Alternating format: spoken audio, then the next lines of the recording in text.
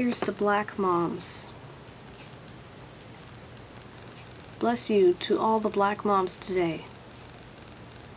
Bless all black moms who have seen their children in handcuffs, seen their children in the backs of police cars, seen their children through prison bars, seen their children face injustice in the judicial system, seen their children beaten, seen their children bleeding, seen their children die, while the white people walk away free.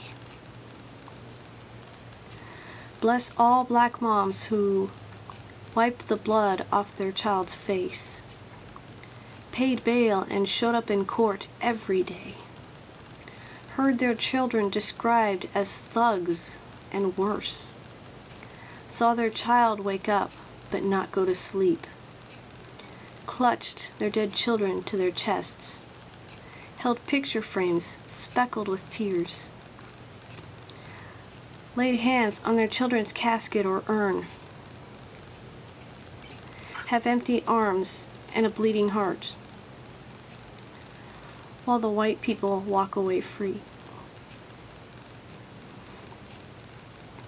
Bless all black moms who hear gunshots and sirens every day, who worry they'll never see their children alive again, who are bailing their children out of jail who stand by their children's side in court, who are sitting in a hospital ICU, who are burying their children right now, who kiss their children goodbye for the last time, who face discrimination over their skin color, who fight for justice in a cruel, racist world, while the white people,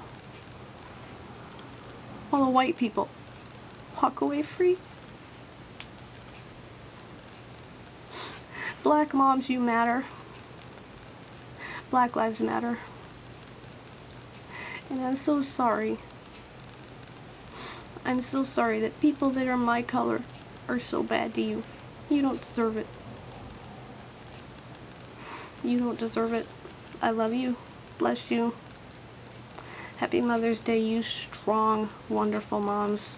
You black moms are so strong and so amazing, and you deserve to be acknowledged. Bless you.